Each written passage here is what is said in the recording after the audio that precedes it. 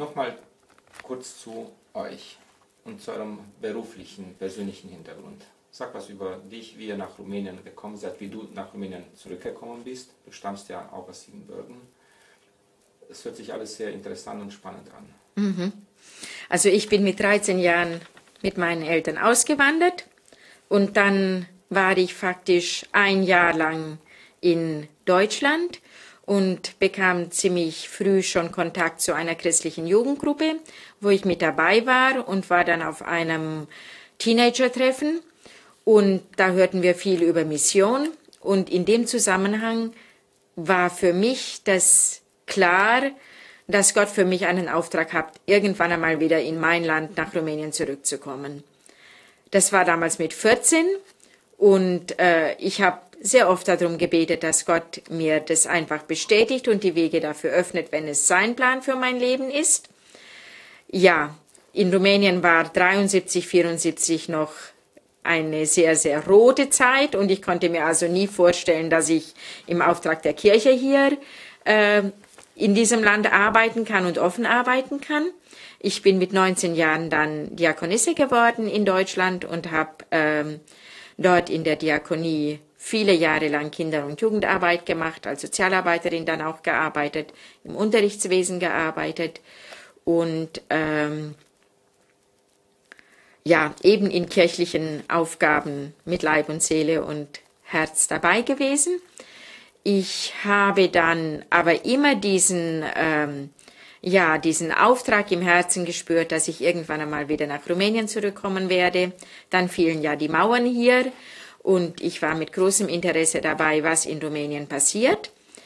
Ähm, über das Diakonissenmutterhaus in Bremen und das Diakonische Werk lernte ich dann eine äh, Pfarrerswitwe kennen, die hier als Krankengymnastin arbeitet und der ihren Mitarbeiter. Und dieser Mitarbeiter, das war Espen Christensen. Und ähm, ich habe die Arbeit besser kennengelernt in Rumänien und habe gemerkt, dass das eigentlich die Art und Weise, wie sie hier mit den Menschen arbeiten, dass äh, sowohl die, die Bibel wichtig ist, den Menschen den Glauben zu weiterzugeben, aber das auch ganz praktisch im Alltag umzusetzen und für die Menschen eine Zukunft und eine Hoffnung auf der Basis des Glaubens zu bringen, dass das äh, etwas war, was mich faszinierte und wo ich dachte, dass das ist genau das, was ich mir vorstellen kann. Scheinbar hat dein äh, Mann, ein späterer Mann, auch etwas Ähnliches versucht, noch seit Anfang der 90er Jahre. Richtig? Ja, gleich nach, als die 90er, also als die Revolution zu Ende war, war mein Mann mit dem Leiter des äh, Internationalen Roten Kreuzes in Ungarn und da warteten sie, dass die Grenzen aufgehen nach Rumänien und dann ist er eben im Internationalen Roten Kreuz nach Rumänien gekommen. Er hat am Anfang sehr viel in Kinderheimen gearbeitet, in Krankenhäusern, wirklich die akute Nothilfe, die durch das Rote Kreuz kam in der Psychiatrie und hier, wo all diese ganz schwierigen, schwierigen Situationen waren.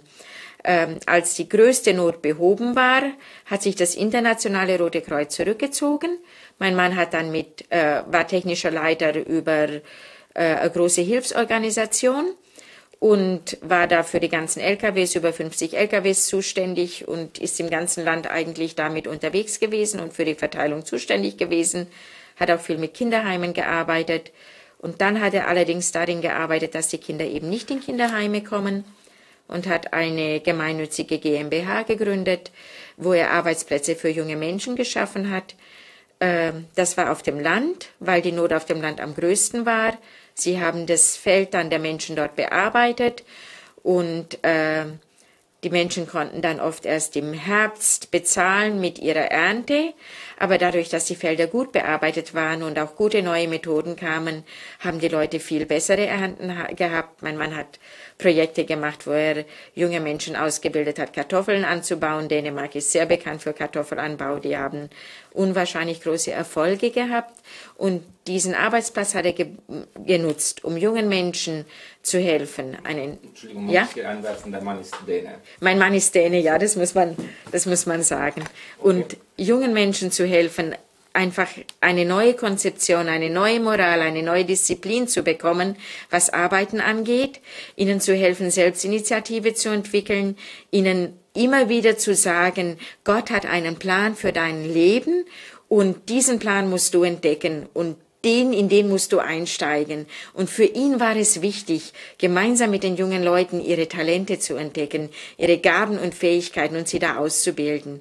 Und es sind über diesen Arbeitsplatz auf dem Land Sekretärinnen ausgebildet worden, es sind ähm, Schreinereien in, in Gang gekommen, es ist eine Mühle in Gang gekommen, es sind junge Leute gekommen, die beim Straßenbau, bei den äh, Benzinerie, also bei den Tankstellen mitgearbeitet haben. Also er hat geguckt, wo haben sie ihre Gaben und da sollten sie weiterkommen. Wo genau hat er diese Projekte durchgeführt?